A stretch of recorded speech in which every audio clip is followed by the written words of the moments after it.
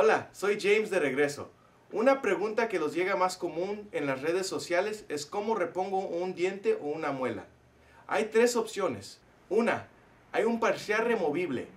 Dos, un puente fijo. O tres, un implante, como ve aquí. En mi opinión, el implante es la mejor opción para reponer un diente o una muela. Para poder determinar si es un buen candidato para un implante, tuviéramos que empezar con un examen y radiografías. Para un examen y radiografías, mándalos un mensaje abajo y empezamos el proceso ahora. Aun cuando hemos determinado que usted es un buen candidato para un implante, le voy a explicar de lo que se trata el implante.